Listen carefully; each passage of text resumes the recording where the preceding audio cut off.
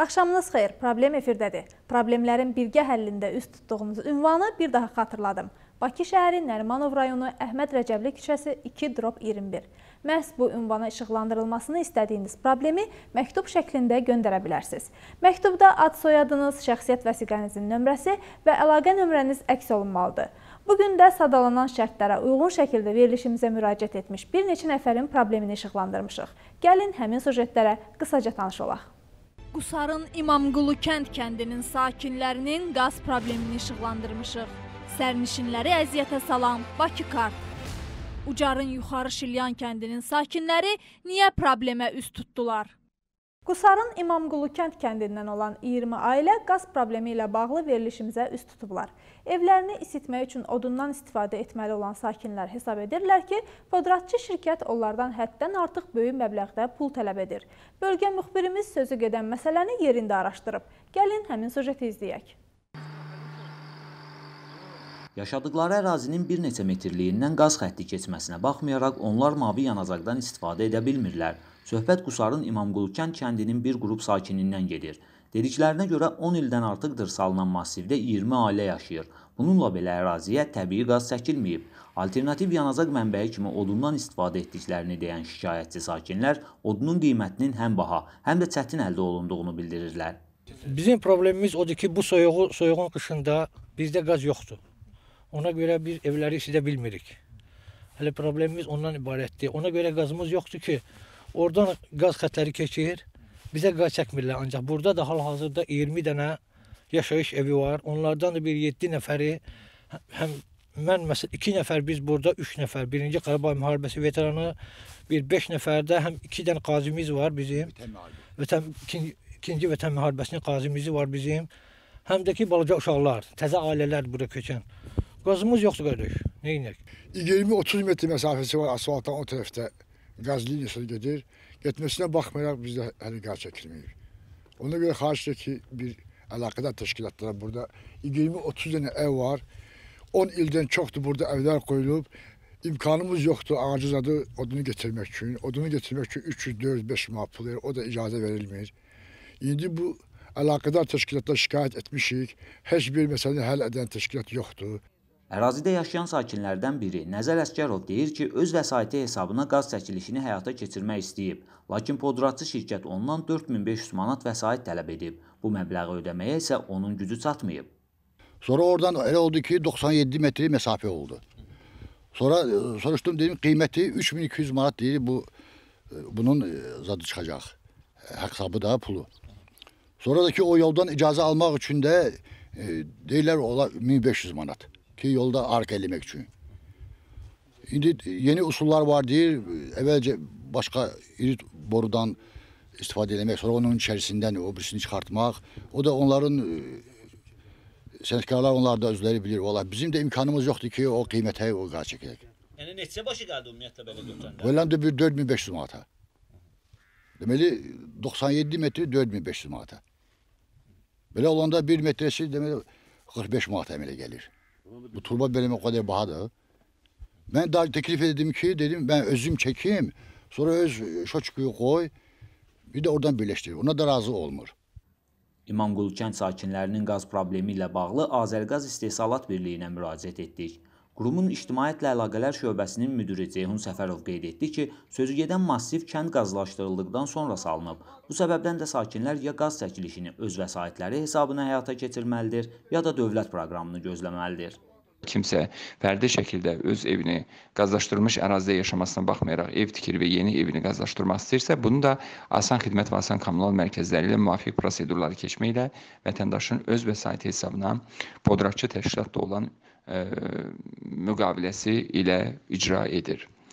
E, və qeyd edək ki, elə yaşayış məntəqələri var ki, onlar qazlaşdırılır, lakin bir müddət keçəndən sonra Qısa zamanda da bəzən görürük ki, o məntəqənin ətrafında çox sayda yeni evlər tikilib, genişləndirilmiş ərazilər olur. Bunlar artıq yeni massivlər kimi formalaşır. Bu massivlərin elə siz qeyd etdiyiniz ərazidə belələrinə aiddir. Qazlaşdırılması isə yenə həmin yaşayış məntəqəsinə əlavə genişlənmiş ərazi kimi yerli icra orqanlarından göndərilən təkliflər əsasında dövlət proqramına salına bilir. Haqqında danışdığımız massiv də ə, proqrama təklif olunub, daxil edilərək vəsait büdcədən ayrıldıqdan sonra bunun qazlaşmasını Azərqaz İstehsalat Birliyi həyata keçirə bilər.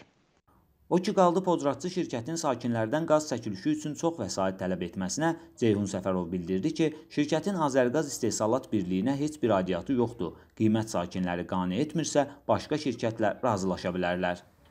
Verilişimizə qazi və şəhid ailələrindən evsizliklə bağlı müraciət edənlər az olmur. Bugün Prezident İlham Əliyev Azərbaycan Respublikasının ərazi bütövlüyünün, müstəqilliyinin və konstitusiya quruluşunun müdafiəsi ilə əlaqədar əlilliyi müəyyən edilmiş şəxslərin və şəhid ailələrinin sosial məişət şəraitinin yaxşılaşdırılması ilə bağlı bir sıra tədbirlər haqqında sərəncam imzalayıb. Sərəncama əsasən sadalanan qruplardan olan ailələrin 2021-25-ci illər ərzində mərhələlərlə mənzil və ya fərdi evlə təmin edilməsi üçün tədbirlər planı təsdiq edilib. Beləliklə, bu problem də Prezident sərəncamı ilə kökündən həll olundu. Vətəndaşlarımızın ictimai nəqliyyatdan istifadə edən böyük əksəriyyətində Bakı kart adlanan ödəmə kartları var. Amma o kartların balansını artırmaq son zamanlar sərnişinlər üçün əsl problemə çevrilib. Xüsusilə də Bakı metropoliteni işləmədiyi vaxtlarda metro yaxınlığında yaşayan sakinlər bu problemi daha çox yaşayırlar. Sözü gedən məsələ ilə bağlı sujet hazırlamışıq. Bura Bakının aktiv istifadə olunan yollarından biri Əhməd Rəcəbli küçəsidir. Ziya Bünyadov prospekti ilə kəsişmədən başlayan və Təbriz küçəsi ilə kəsişməyədək davam edən yolun uzunluğu 3 kilometrə yaxındır. Küçədə təxminən 8 avtobus dayanacağı yerləşir ki, onlardan cəmi birində Bakubas kartının ödəmə terminalı var. Növbəti ödəmə terminalı isə 2 kilometrə yaxın aralı məsafədə Təbriz küçəsi ilə kəsişmədə quraşdırılan avtobus dayanacağındadır. Ödənişin nəqliyyat kartları vasitəsilə edilməsi tələb olunan Bakubas avtobuslarından istifadə edərkən onun balansının artırılması sərnişinlər üçün problem yaradır. Əhməd Rəcəbli ilə yanaşı şəhərin bir çox küçələrində quraşdırılan dayanacaqlarda Bakı kart terminalları yoxdur. Sərnişinlər onların ən yaxın başqa hansı dayanacaqda olduğunu da öyrənə bilmirlər. Əhməd Rəcəbli ərazisində bu ərazidə bir dənə hal-hazırda burada yerləşir. Post terminal Astrokoda. Üzbəyiz qarşı tərəfdə məsələn getmək üçün gələ bu tərəfdə yükləyəsən, keçəsən o tərəfdə avtobusa minəsən. Və yaxud aşağı getmək üçün də gələ buradan yükləyib aşağıdan gəlib burada yükləyib gedəsən. Belə. Bu ərazilərdə belə deyək də bu post terminalların az olması, e, dayanacaqlarda post, e, post terminalların qəpi qəbul etməməsi və yaxud e, olmaması, olmaması çox pis haldır, belə deyək. Onların çox olması daha yaxşı olar və ən əsası o ki, qəpi qəbul etsinlər. Bakı Nəqliyyat Agentliyinin mətbuat katibi Mais Ağayevin sözlərinə görə Bakı kart terminalları quraşdırılarkən insanların hansı dayanacaqlarda çox olub olmaması nəzərə alınır. Qeyd etmək istərdim ki, ödəmə terminalları əsasən vacib cəlbetmə məntəqəsi hesab edilən avtobus dayanacaqlarında quraşdırılır və hazırda Bakı şəhərinin ərazisində 240-dan çox dayanacaq məntəqəsində ödəmə terminalı var. Bunlar həm milli ön, həm də Bakı karta məxsus ödəmə terminallarıdır. Bundan əlavə e, Bakı metropoliteninin stansiyalarının giriş-çıxışlarında ümumilikdə 150 ödəmə terminalı e, fəaliyyət göstərməkdədir. Baxmayaraq ki, metroda sərnişin daşıma fəaliyyəti dayandırılıb, lakin əldə olunan razılığa əsasən sərnişinlərimiz pik saatlarda bu terminallardan istifadə edə bilirlər. Mais Ağayev onu da bildirdi ki, nəhayət yaxın günlərdə Bakı kart nəqliyyat kartlarının balansının artırılması xidməti internet üzərindən də əlçatan olacaq. Hazırda bununla bağlı Həmçinin bank kartları vasitəsilə də sərnişin nəqliyyatından istifadəyə görə təmassız ödənişləri aparmaq imkanının yaradılması istiqamətində işlər gedir. Sözü gedən layihə bir qədər pandemiya səbəbindən ləngisə də yaxın zamanda artıq onlayn ödəmə sistemi işə düşəcək. Bu da ümumi vəziyyətin yüngülləşdirilməsinə səbəb olacaq. Ucarın yuxarı Şilyan kəndində yaşayan Hüseynovlar isə bizə qəzalı vəziyyətdə olan evlərinin təmirə ehtiyacı olması ilə bağlı müraciət ediblər. Fərdi şəkildə uyğunsuz ərazidə tikilmiş bu ev qrunt suları ucbatından yararsız hala düşməkdədir. Problemin həlli isə deyəsən elə ailənin üstünə düşəcək. Evimizin vəziyyəti bax bu qaydadadır, çox təhlükəlidir. Bizə deyirlər burada yaşamayın, təhlükəlidir. Bizim də gedəcək yerimiz yoxdur. Burada da yaşayırıq. Burada qopub günü-gündən uçqunlar çoxar, hətta qorxuram burada durub bunu çəkməyə, yuxarıdan uçulur. Ucar rayon Yuxarı Şilyan kəndinin sakini olan Hüseynovlar ailəsinin problemi qəzalı evdə yaşamalarıdır. 8 nəfərdən ibarət ailə hər an təhlükə ilə üz-üzədir. Evin dayaq hissəsində yaranan çatlar uçma təhlükəsindən xəbər verir. Qorxuruq, gecə yatıram, yata bilmirəm. Deyirəm qoy gələk tez-tez baxaq, uçar. Evdir da, yenə biraz əşyalarımızdan çıxardaq çölə. Gecə gedirik, budam var yaxında, gəlib baxa bilərsiniz. Onlarda qalırıq, gündüz yenə gəlirik öz evimizə. Yayda yenə çöldə, bayırda çadır qurub yaşayırdıq. Axı qışdı. Nə qədər mən gedib qudamın evində gecə qalıb gündüz evimizə gələcəm. İpək Hüseynova deyir ki, evini qəzalı vəziyyətə salan səbəb bir deyil. Əvvəlcə evin yerləşməsi ətrafdakı quruntu suları evi zədələmişdisə, ardınca baş verən zəlzələ daha da təhlükəli vəziyyət yaradıb. Evdə çox qoca ev deyil. 17 ilin, 20 ilin evidir. Özüm ailəmlə əl elə verib tikdiyim evdir. Düşüb sadəcə xəndək yerinə uçur. Qurum suları baş alıb gedir. Zəlzələ dövründə lap çox qəzalı vəziyyətə düşdü. Ailə üzvləri deyir ki, Ucar rayon icra hakimiyyətinin memarlıq və tikinti şöbəsinin məsul işçiləri onların bu evdə yaşamasının olduqca təhlükəli olduğunu deyib. Dedilər ki, ev çox təhlükəli vəziyyətdə burada yaşamaq olmaz. Ona baxmayaraq bizim çünki gedəcək yerimiz yoxdur. Ona baxmayaraq biz bu təhlükədə yaşayırıq hal-hazırda. Ev günü-gündən santı-santı genişlənir, çatlar aralanır. Məsələ ilə bağlı münasibət bildirən Ucar rayon icra hakimiyyətinin Yuxarı Şilyan kəndi üzrə icra nümayəndəsi problemdən xəbərdar olduqlarını, amma vətəndaşların fərdi evlərinin təmir və bərpası üçün hər hansı bir məbləğ ayrılmadığını qeyd etdi. Beləliklə, Hüseynovlar evlərini özləri təmir etməlidirlər. Verilişimizin daimi tamaşaçıları oxşar mövzu ilə bağlı dəfələrlə sujetlər hazırladığımızı xatırlayar. Problemli binalar arasında düşmənin hücumu və ya zəlzələ nəticəsində qəzalı vəziyyətə düşənlər də olub, dövlətin müxtəlif strukturlarının balansında baxımsızlıqdan yararsız hala qalanlar da. Tamaşaçılarımız elə bu sujetdəki Hüseynovlar ailəsi kimi belə vəziyyətlərdə nə etməli, hara müraciət etməli olduqlarını bilmirlər. Məsələni studiyamızın qonağı ilə müzakirə edəcəyik. Qonağımız vəkil Samir Qasımovdur. Samir müəllim, dövlət hansı hallarda qəzalı vəziyyətə düşmüş binanı, evi təmir etməlidir? Ümumiyyətlə qeyd etmək lazımdır ki, e, binanın, evin təmiri öhdəliyi həmin binanın mülkiyyətçisinin üzərinə düşür və konstitusiyamıza görə də Azərbaycan Respublikasında 3 mülkiyyət növü var. Xüsusi mülkiyyət, dövlət mülkiyyəti və bələdiyyə mülkiyyəti. Əgər e, bina dövlətin mülkiyyətindədirsə, hansısa dövlət orqanının banasındadırsa, belə deyək, məsələn el arasındakı sözlə desək, JEK tutaq ki, binaları, JEK-ə baxan binalar, həmin binalarla əlaqədar qəzalı vəziyyət yarandıqda həmin vəziyyəti aradan qaldırmaq dövlətin üzərinə düşür və həmin e, mənzildə yaşayan şəxslər e, bununla əlaqədar e, müvafiq icra hakimiyyəti orqanına, məsələn, yaşadıqları rayon icra hakimiyyəti orqanına müraciət etmək hüququna malikdirlər və dövlətdən bunu tələb etmək hüququna malikdirlər. Lakin e, öz xüsusi mülkiyyətində evi olan, və yaxud yaşayan, lakin sənədsiz evlərdə yaşayan şəxslərin evlərinin qəzalı vəziyyətdən xilas etmək vəzifəsi onların öz üzərinə düşür və onlar bunu vaxtında etməlidirlər. Nəinki bu dövlətin vəzifəsi deyil, onların özünün vəzifəsidir və bunu vaxtında etməməyin nəticəsi olaraq baş vermiş qəzalara, digər şəxslərə dəymiş zərərə görə də məsuliyyət daşıyırlar. Təbii hadisələr, fövqəladə hadisələr vaxtı qəzalı düşən evlər var. Amma onlar çox zaman həmin hadisə vaxtı hökumətə, dövlətə müraciət etməyi unudurlar və üstündən 2-3 il keçəndən sonra o vaxt zəlzələ baş verəndə olmuşdu deyə dövlətə müraciət edirlər. Bu halda hansısa bir vaxt limiti qoyulurmu? Necə olur? E, ümumiyyətlə, yəni dünya təcrübəsi və o cümlədən Azərbaycan təcrübəsi də bundan ibarətdir ki, təbii fəlakətlər vaxtı e, yəni kütləvi və iri miqyaslı belə deyək, bütöv yaşayış məntəqələrinə, yəni xeyli sayda insana zərər dəyir və bu zaman dövlət üzərinə adətən müəyyən öhdəliklər götürür və e, mənzil məcəlləsində də misal üçün var ki, təbii fəlakət nəticəsində qəzalı vəziyyət yarandıqda mənzildə və yaxud binada e, dövlət tərəfindən həmin qəzalı vəziyyətin aradan qaldırılmasına dəstək oluna bilər. Lakin bu hüquqi cəhətdən belə deyək, yəni dövlətin vəzifəsi deyil, sadəcə olaraq dövlət öz e, Azərbaycan konstitusiyasında nəzərdə tutulmuş, yəni insan və vətəndaşın yüksək həyat şəraitini və s. digər amalları təmin etmək məqsədi ilə bu cür dəstək ola bilər. E, lakin yəni hər bir halda yəni vətəndaşın belə bir tələb irəli sürmək hüququ yoxdur. Bu cür vəziyyətlərdən qaçmaq üçün yəqin ki, ən yaxşı çıxış yolu sığortadır.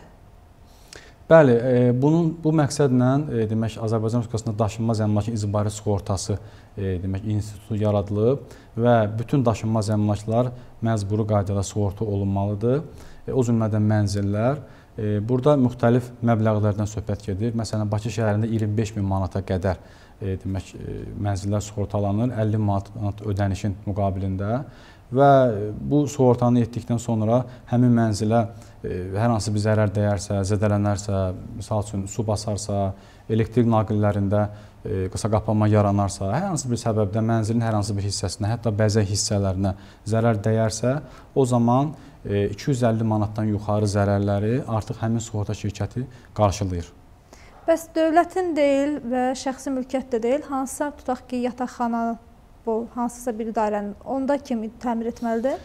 Yataqxanadırsa o dövlət yataqxanası ola bilər və yaxud e, hansısa bir e, şirkətə, məsələn tutalım ki, adətən universitetlərin tutaq ki, yataqxanaları olur. Hər bir halda həmin yataqxananın mülkiyyətçisi kimdirsə, e, tutalım universitetdirsə, həmin universitet həmin e, demək mənzili, binanı qəzalı vəziyyətdən e, çıxarmaq öhdəliyi daşıyır və həmin vətəndaşlar da orada yaşayan sakinlər də e, həmin mülkiyyətçiyə müraciət eləyərək qəzalı vəziyyətdən çıxarmanı tələb edə bilərlər. Hardasa 2 həftə öncə bizim verilişimizdə belə bir sujet efirə getmişdi. Sabunçu rayonunda artıq balansdan çıxarılmış köhnə bir tikili, amma orada sakinlər yaşayır.